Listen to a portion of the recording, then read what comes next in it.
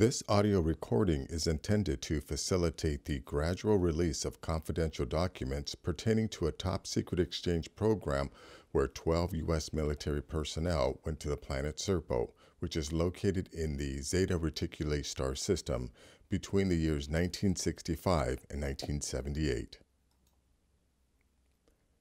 Release 29A The Universe Resolved. It will expand forever. 16th June 2008. Explanation Analysis of a new high resolution map of microwave light emitted only 380,000 years after the Big Bang appears to define our universe more precisely than ever before. The eagerly awaited results announced last year from the orbiting Wilkinson Microwave Anisotropy Probe WMAP resolved several long-standing disagreements in cosmology. Present analysis of the map all sky image indicates that the universe is 13.7 billion years old, accurate to 1%, composed of 73% dark energy, 23% cold dark matter, and only 4% atoms. It is currently expanding at the rate of 71 kilometers per second, accurate to 5%, underwent episodes of rapid expansion called inflation and will expand forever. Release 29A1, our universe is shown to be about 13.7 to 15 billion years old in this afterglow of creation, 16th June 2008. Big Bang Theory The plane of our Milky Way galaxy runs horizontally through the center of this microwave image. This historic all-sky map is based on the first two years of data from NASA's Cosmic Background Explorer satellite. These ripples in the afterglow of creation were mapped for the first time by the COBE satellite in 1992. The COBE images confirm that only a million years after the Big Bang, which occurred roughly 13.7 to 15 billion years ago, parts of the universe were visibly hotter than other parts. The CMBR, cosmic microwave background radiation, shows that the pink areas are hotter and denser while the blue areas are cooler and less dense. By studying the size and distribution of the spots found with COBE and future missions, astronomers hope to determine the composition, density, and future of our universe. The CMBR was discovered in 1964 by Americans Arno Penzias and Robert Wilson.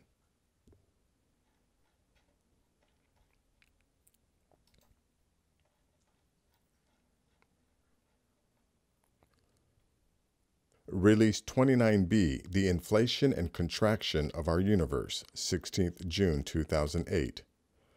The universe inflation and contraction. The universe is expanding gradually now, but its initial expansion was almost impossibly rapid as it likely grew from quantum scale fluctuation in a trillionth of a second. In fact, this cosmological scenario known as inflation is now reported to be further quantified by an analysis of three years of data from the WMAP spacecraft. The subtle properties are distilled from conditions in the early universe and related to its first moments of existence. Schematically, this diagram traces the 13.7 to 15 billion years plus a trillionth of a second history of the universe from the quantum scale to the formation of stars, galaxies, planets, and WMAP. Release 29C Evidence of the Big Bang and inflation are heard in the frozen ice of Antarctica, 16th June 2008. Explanation on the frozen ice near the bottom of the world, increasingly sophisticated instruments listen for a more precise echo of how our universe started. Independent collaborations behind three such instruments announced evidence that overtones heard are consistent with our universe having only about 5% normal matter and 95% dark matter or dark energy. This amount of normal matter was expected were our universe to have undergone a particularly explosive early phase of the Big Bang known as inflation. Fluctuations of microwave light are thought to be caused by sound waves moving through the early universe. Pictured is the remote receiver for the degree angular scale interferometer that recorded one of the data sets. Release 29D. Will the universe end in a big rip, big crunch, or big freeze? 16th June 2008. Explanation How will our universe end? Although the universe started with a big bang, analysis of cosmological measurements allows a possibility that it will end with a big rip. As soon as a few billion years from now, the controversial scenario holds. Dark energy will grow to such a magnitude that our own Milky Way galaxy will no longer be able to hold itself. After that, stars, planets, and then even atoms might not be able to withstand the expansive internal forces. Previously, speculations on the ultimate fate of the universe centered on either a recollapsing big crunch or a big freeze. Although the universe's fate is still a puzzle, piecing it together will likely follow from an increased understanding of the nature of dark matter and dark energy. Release 29E, The Time Frame of Inflation and Contraction, 16th June 2008. Our Universe, Creation, an extraterrestrial perspective and a schematic diagram of our egg-shaped universe. Special note, the material universe where we live and all galaxies are located is in belt number 4 colored in blue of the seven belts which comprise each and every universe that are contained within the absolute absolutum. Note, see references to the enormous time frames of creation and our universe at the very end of this posting. Our current scientific viewpoint defines the universe as all matter and energy, including Earth, the galaxies, and all therein, and the contents of intergalactic space, regarded as a whole. Fundamentally, it is viewed as an immense collection of stellar material originating from a primeval explosion, appropriately termed the Big Bang, from which all time, space, life, and being originated. However, the extent of our knowledge of the universe is quite elementary and severely limited by the power of our telescopes and other such research devices. According to the Pleiadian extraterrestrials, we have not even begun to peer into the unfathomably vast expanses of our universe, let alone understand what it actually is and how it truly began. The Pleiadians, a civilization over 8,000 years ahead of us in technical knowledge, and one which receives wisdom and knowledge from beings much more highly evolved and knowledgeable than they, are themselves at a loss to fully understand the universe and the mysterious meaning of its existence. Creation and extraterrestrial perspective. To begin to explain the concepts of the universe, it would be helpful to note that the Pleiadians generally use the term universe synonymously with the term creation. The most fundamental energy which comprises the universe, respectively, creation, is the finest of energies appropriately labeled as fine matter by the Pleiadians or spiritual matter. This level of matter has yet to be discovered by terrestrial scientists and remains still hidden during mankind's quest to understand the true origin and nature of our physical reality and its manifold secrets. To further expand on the definition of creation, an excerpt from FIGU's periodical Stimme der Wassermannzeit, Voice of the Aquarian Age, number 89, December 1993, states the following. Creation is the immeasurable mystery suspended in immeasurable expanse. Creation is identical to universal consciousness, which guides and prevails in the being of consciousness. It is a double helixed egg shaped configuration that simultaneously constitutes the universe in its growing expansion. Its pulsating double helix arms live as spiritual energy while rotating around each other. The universe is creation's internal and external body. Creation, through its entirety, pulsates the universal Gemüt, a non translatable German term for the spiritual counterpart to the psyche, and the universal consciousness, the power of life and existence in general. Creation pervades everything, and everything pervades creation, therefore forming oneness within itself. Within this oneness occurs all life and all of the evolution allotted to it. Creation has the identical developmental and evolutionary process as every life form. However, its values of time are anchored in very high values indeed. Creation itself exists in a conscious creative state for seven great times. Subsequently, it lays dormant for an equal number of great times, but this time they last seven times as long. Following this period, creation is awake to create once again for a period seven times as longer once again than the previous one. Our universe expands for 155 trillion 520 billion terrestrial years. Our universe contracts for 155 trillion 520 billion terrestrial years. And then it sleeps and cogitates its previous existence in its awake cycle for an equal number of years. 155 trillion 520 billion plus 155 trillion 520 billion equals one great time equals 311 trillion 40 billion terrestrial years. Seven great times equals 2 quadrillion 177 trillion 280 billion terrestrial years and is called an eternity. Seven eternities equals one cosmic great times or all great time equals 15 quadrillion 240 trillion 960 billion Earth terrestrial years.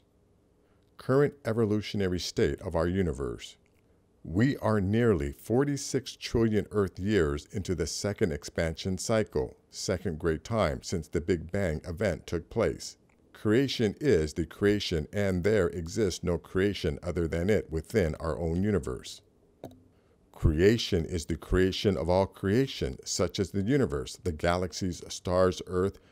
Earth is equivalent to planets in this context, skies, light and darkness, time, space, and all multitudes of life forms in existence, each according to its own species. Creation is justice, love, strength, wisdom, knowledge, compassion, freedom, mercy, laws, directive, alliance, fulfillment, evolution, life, support, joy, beauty, peace, infallibility, equilibrium, spirit, forever, logic, growth, perfection, contentment, inexhaustibility, omnipotence, sweetness, infinity, solidarity, perception, hearkening, elevation, the Sohar, gentleness, lucidity, purity, transformation, origin, future, power, reverence, allness, and being. Creation is the being and non being of life. It is the most immense mass of spiritual energy in the universe. Creation is spirit in its purest form and immeasurable in its wisdom, knowledge, love, and harmony in truth. Creation is a spiritually dynamic, pure spirit energy that prevails over everything. Incomprehensible for human beings, it is an active creative wisdom in the midst of its own incessant evolution. It is all encompassing for all times. Creation is verity, the all embracing solace, comprehensiveness, guidance, equality, accuracy, cognition, empirical knowledge, admonition, discipline, recollection, revelation, praise, perfection, explanation, and direction. Creation is the path of life. It is nature, light, fire, and contemplation.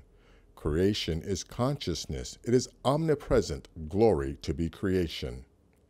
How our universe was created by the absolute absolutum, which created all of the other universes which reside within it, and its initial shape and configuration. In its initial stage, creation exists in a slumber or cogitating state. It begins virtually as small as a flea and is highly concentrated spiritual energy formed by the ultimately highest forms of creation above it. Designated by the Pleiadians as the absolute absolutum, a spiritual explosion subsequently occurs which instantly fills the entire space the universe initially occupies creation continues to expand for a period of time during which physical matter, for example, celestial bodies and life forms, are continuously being created within it. Our universe is nearly 46 trillion years into the second expansion cycle since the Big Bang took place. Creation will experience a total of seven expansion contraction cycles before moving into the next level of its evolution. A schematic of our universe. In order to grasp a better understanding of creation, it would be easier to depict it in a diagrammatic form. This, however, proves to be nearly impossible given the incredibly immense proportions of its components, namely its seven belts or levels of energy. However, an attempt is made to display a schematic in order to provide at least a hint of its enormous size. The schematic presented below, this link is no longer working, is based on data present at the time just after the Big Bang our universe has since expanded, reflecting much higher measurement values. Imagine our expanding universe as a gigantic sphere. Now imagine if you were to slice the universe in half, thereby exposing the seven individual belts or layers within. Each belt is represented here by a distinct color for illustration purposes only. One thing that should become obvious at this point is that you can only discern four out of the seven shells within the colors green, red, yellow, and the small center point being blue. The names and width of these layers from the outermost to the innermost are defined below. The widths given are the thickness of each shell, not its diameter.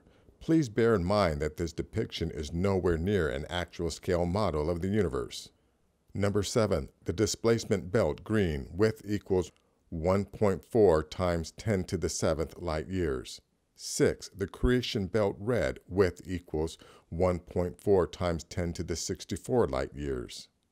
5. The transformation belt yellow width equals 1 times 10 to the 55th light years.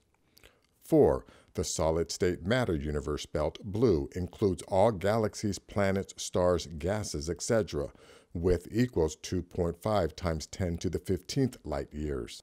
So then, where are the remaining three layers? The outer layers described are so incredibly large that the innermost layers would not even show up as a pinpoint of color, yet they are huge distances nonetheless. Below is an expanded view of our interior portion of our universe, starting with the blue material universe belt described above, and the remaining three belts, pink, orange, and purple, shown as an exploded pie segment.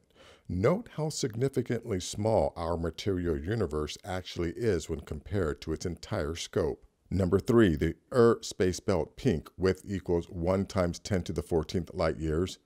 Number two, the Ur core belt, orange, width equals 1 times 10 to the 14th light years. Number one, the central core, purple, radius equals 3.5 light years. The function of the individual belts in our universe involves a constant transfer of energies. All of this providing the capability for our universe to manifest a material or physical belt in which stellar material, floral, faunal, and human life can develop. To elaborate on these functions, Billy Meier responds to a question about the material belt of our universe. An excerpt from FIGU's Bulletin Number 5 by Billy Meier. Question What is the universal material belt? Answer the universal material belt is that part or belt, respectively, of the universe where matter exists. That is to say, planets, suns, galaxies, meteors, comets, gases, the entire dark matter, and other things.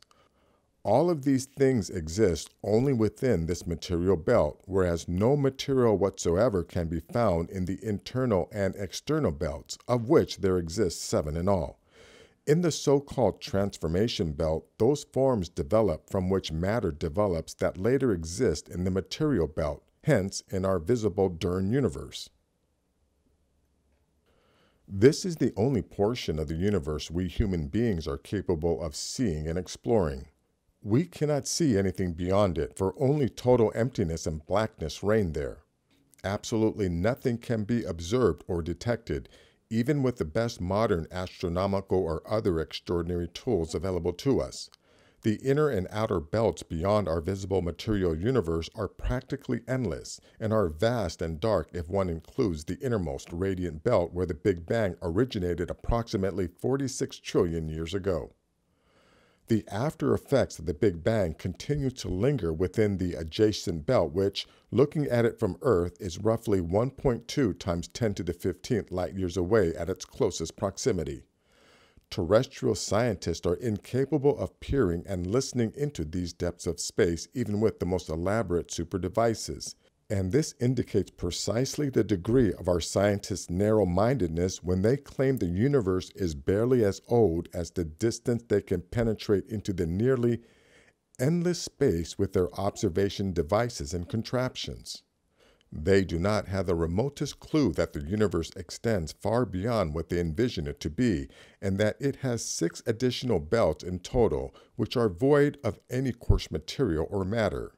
Matter itself is in constant transformation within the material belt, and it is therefore subject to growth and disintegration processes. For this reason, matter can never be or become as old as the complete universe.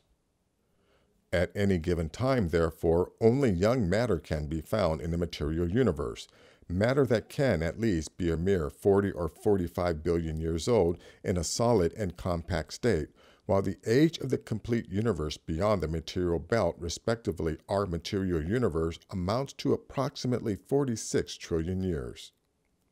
The attempt to schematically depict the complete universe is an impossible feat due to its colossal size. Additionally, its spiral egg shape complicates everything even more. Nonetheless, here is an attempt by way of a circular diagram, a model to illustrate an overview of what our complete universe looks like, which bears the name Dern universe. The sketch proportions do not correspond in distance with one another, of course, since this is only a schematic diagram. For more specific data regarding this material, I suggest you read Guido Moosbrugger's lecture as printed in our FIGU pamphlet, Überdenkenswert Vortrag, Lectures to Ponder, available only in German at this point. In the above illustration, belt number 4 blue depicts our material universe, that is to say, the part of the complete universe where the galaxies exist with suns, planets, meteors, gas clouds, comets, and so forth. The Ur space number 3 pink is the belt from which emanates the so-called background radiation that leads back to the Ur core number 2 orange the actual Ur layer in whose center lies the central core number one purple that constitutes the actual Big Bang location, the Big Bang center. Beginning in the Ur space, matter starts its development and then passes into the universe belt, hence our material universe. This matter consists of energy, however, which intermingles with other energy forms that penetrate from the transformation belt number 5 yellow into our material universe. The energy matter from Ur space is positive while the other matter from the transformative belt is negative. As they join into the material universe, they develop into new energy forms from which ultimately coarse matter evolves. In the transformation belt number 5 yellow, the fine matter energies of the creation belt number 6 red are transformed into energy forms that already extend into the realm of material energy. This makes them absorbable by the transformation belt, and they are turned into coarse energy. The creation belt number 6 red absorbs the finest of energies from the space of the absolute absolutum, which is located beyond the displacement belt, also called ram belt number 7 green, whose function it is to nudge away the walls of the other universes that float within the space of the absolute absolutum as well. The displacement belt also performs another function, namely that of absorbing the finest energy matter from the absolute absolutum spheres and passing them on into the creational belt. This process supplies the complete universe with all the indispensable energies it needs to exist. Although it created itself, or rather was created through the Ur idea of the previous Ur creation, one can see that the complete universe nevertheless requires external energies, in this case from the absolute absolutum, upon whose finest energies ultimately tend to the 49th different forms of creation depend in infinite number. Regardless of the fact that the complete creation, universal consciousness, or whatever one wishes to call the complete universe, is capable of supporting itself, it nonetheless requires some force and energy that enables the universe to achieve it. This force or energy is provided by the absolute absolutum. The absolute absolutum is the only entity capable of passing on the indispensable and fundamental energies to all existing forms of creation within the entire vastness of all creational forms, so that they in turn have the capability of being able to support themselves. And yet, even the absolute absolutum is dependent upon an external life energy, which it does not draw from a higher type of creation, but directly from what human beings call the the absolute nothing does, however, contain the fundamental finest energies from which the absolute absolutum self created itself in an unfathomably long time ago. The enormous time frame of our universe and creation. A good reference to the enormous time frame of our universe is located at the website. A similar listing of our cosmic numbers is at and see the last section at the bottom of the page at. In some Hindu astronomical books, there is a section recounting this ancient cosmology, probably for historical reference.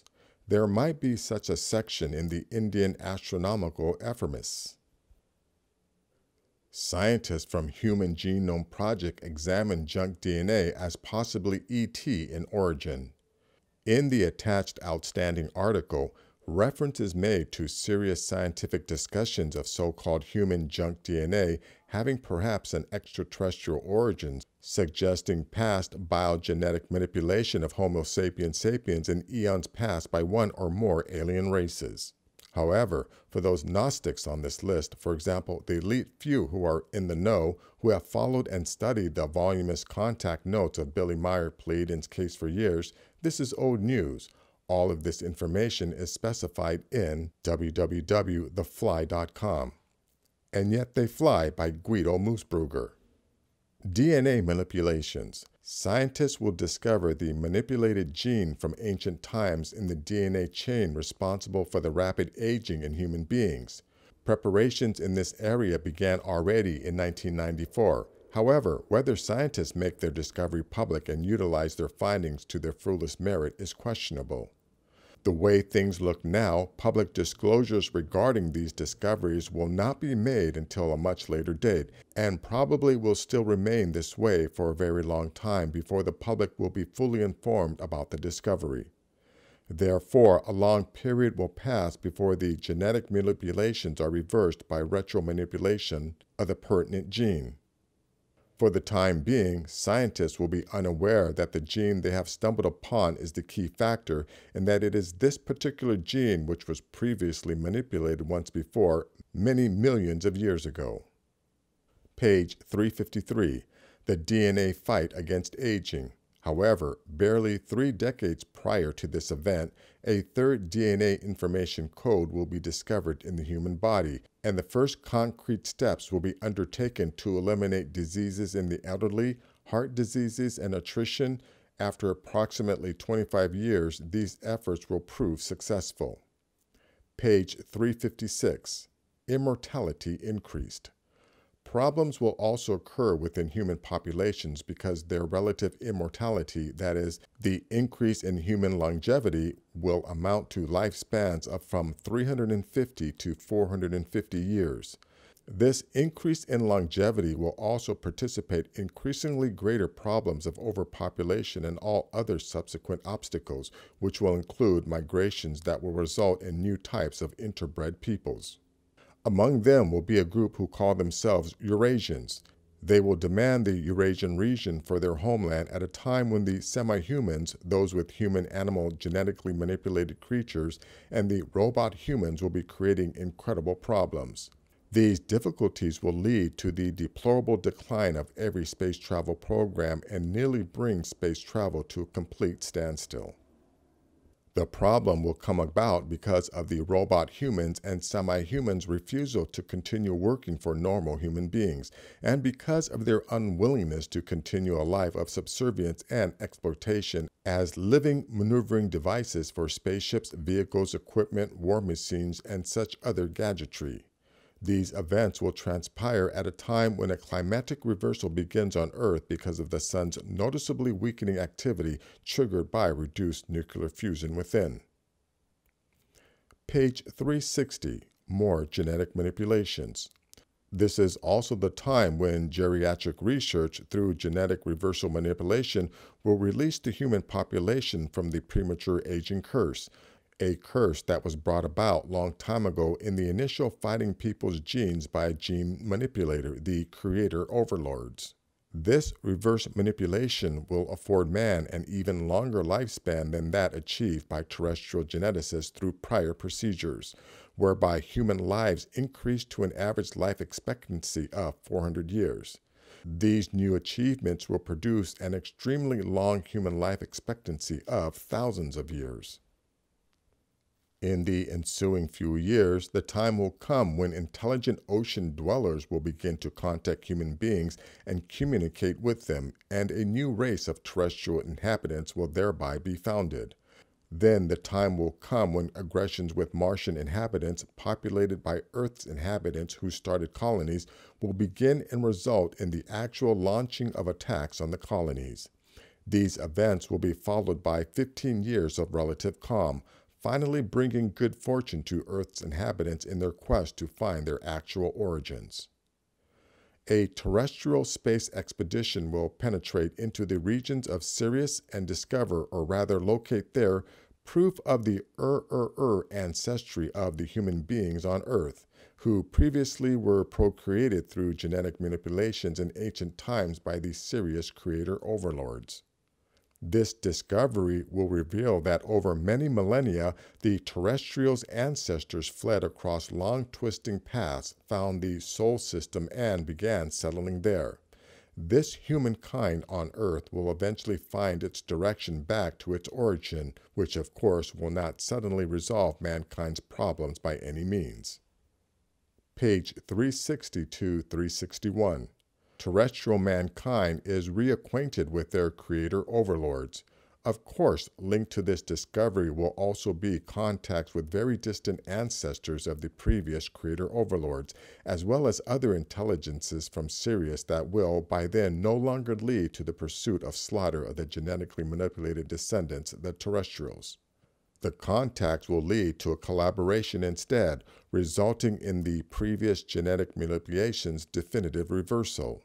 This action in turn will result in the birth of new descendants who will be normal and no longer be degenerate. The circle finally closes and man will become a true human being, an equilibrium with the negative and positive. The reversal of this previous degeneration gene manipulation, along with the continuing climbing overpopulation, precipitated even more so by the extraordinary human longevity, will result in plans for the eradication of those humans in whom the genetic reverse manipulations had not yet been performed on Earth as well as on all the other worlds colonized by terrestrials and space stations inhabited by them. This eradication will transpire in the same manner previously proclaimed and demanded by responsible individuals a very long time ago a worldwide halt in the birth rate over a seven year cycle. Within this framework, only parents whose degeneration was previously eradicated through genetic reverse manipulation will be permitted to procreate. Only those individuals, therefore, will be legally entitled to sire an offspring. Illegal pregnancies will be assessed as the most abhorrent crime, punishable by death to the guilty parties. This concept will only come about as an inescapable law five years before the period when complete authority over planet Earth is placed into the hands of the administrative sphere within the Sirius Alliance and enforced therefrom. And that is the end of this video. If you like things like this, please give this video a thumbs up. Please share this video. And if you are new to the channel, please subscribe. I will have more things like this. Take care.